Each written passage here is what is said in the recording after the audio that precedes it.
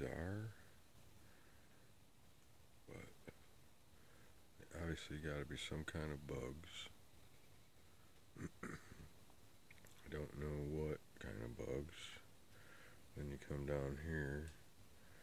We got this big giant mass of something here. I don't know exactly what it is. But I'm gonna walk around the other side here. Can't get a look see at it.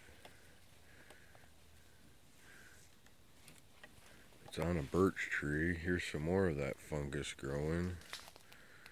But it's got all these things. And obviously, they got to be some kind of an insect of some sort. And I will definitely, definitely look these critters up. I don't know if it has anything to do with this stuff. I mean, there's a few around it, but not many. It's on a young birch or beech tree.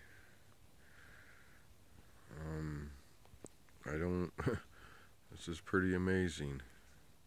Pretty amazing.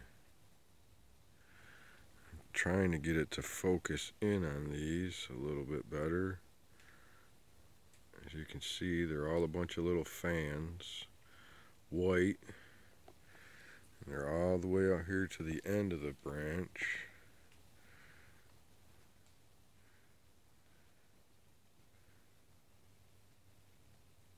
I don't understand what it is.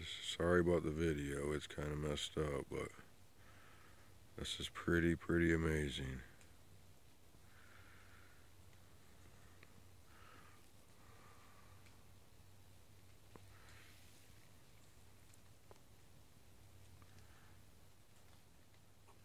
Tried to zoom in a bit here, but it doesn't seem to want to do it. Definitely take a picture. As you can see, they're all waving in the air. If I disturb the plant, they get even crazier.